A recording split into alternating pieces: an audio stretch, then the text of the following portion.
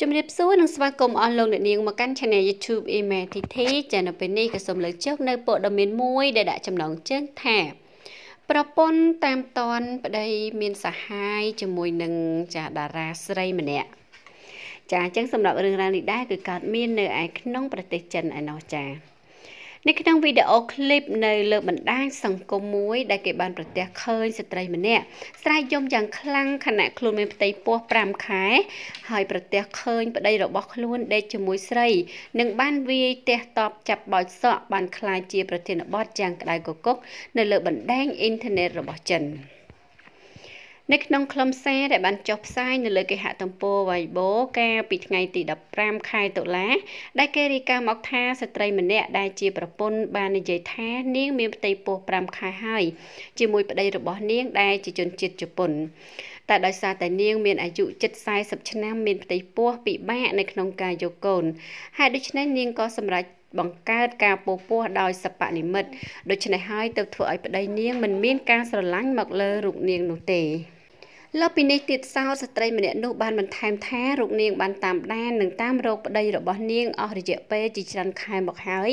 ដោយមានការសង្ស័យថាស្វាមីខ្លួនកំពុងលួចមានស្រី រហូតដល់ថ្ងៃចាទី10ខែតុលានាងក៏ចាប់បានអ្នកទាំងពីរនៅលើក្រេជាមួយគ្នាថែមទាំងអាក្រាតកាយទៀតផងភ្លាមភ្លាមនោះប្រពន្ធដដែលបានបញ្ជាក់ថាស្ត្រីដែលគេស្គាល់ជាប្រពន្ធនឹងគឺបានចូលទៅក្នុងបន្ទប់ជាមួយនឹងអាកប្បកិរិយាខឹងសម្បានិងបានជេរប្រមាថម្ដងហើយម្ដងទៀតនិងបានវាយដំផ្ទះស្ត្រីកំណាន់ដោយពោលថានាងពិតជាក្លាហានមែន តើមានមោទនភាពមែនទេ ដែលស្ត្រីរូបនេះមានផ្ទៃពោះ5ខែហើយតែនៅហ៊ានលួងលោមប្តីរបស់នាង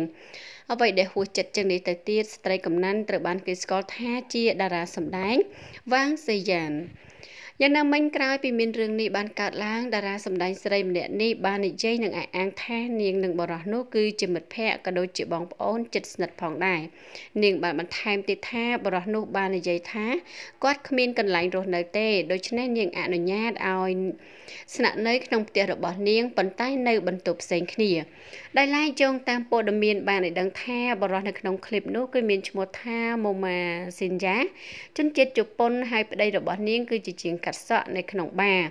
នៅទីក្រុងប៉េកាំងដែលគេបញ្ជាក់មកថាបរិះជាប្តីបានប្លុកស្ត្រី ដែលជាប្រពន្ធខ្លួននៅលើបណ្ដាញសង្គមថែមទាំងមិនបានសារភាពថា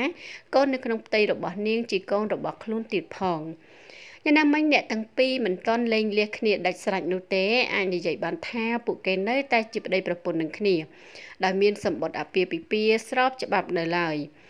ទោះយ៉ាងណាក៏ដោយសម្រាប់ហេតុផលមួយចំនួនវាកំពុងតែស្ថិតនៅក្នុងភាពមន្ទិលរបស់មហាជនដោយគេមានការងឿងឆ្ងល់ថាការបញ្យលរបស់តារាស្រីរូបនេះដោយគេបានលើកឡើងហេតុអ្វីបានជានាងចែករំលែកនៅផ្ទះតែមួយបន្ទប់ផ្សេងគ្នាតែចាប់បាននៅលើក្រេជាមួយគ្នាទៅវិញយ៉ាងណាមិញបច្ចុប្បន្ននេះព័ត៌មានដ៏កក្រើកចានៅតែជាប្រធានបទក្តៅកគុកនៅទូទាំងប្រទេសចិននៅឡើយ ចាអញ្ចឹងការអះអាងរបស់តារាស្រីរូបនេះគឺថាចានៅផ្ទះតែមួយមែនប៉ុន្តែក្រេបន្ទប់ហ្នឹងគឺផ្សេងគ្នាប៉ុន្តែអ្វីដែលប្រពន្ធចាប់បានហ្នឹងគឺឃើញថាអ្នកទាំងពីរចាកំពុងតែនៅលើក្រេជាមួយគ្នាចា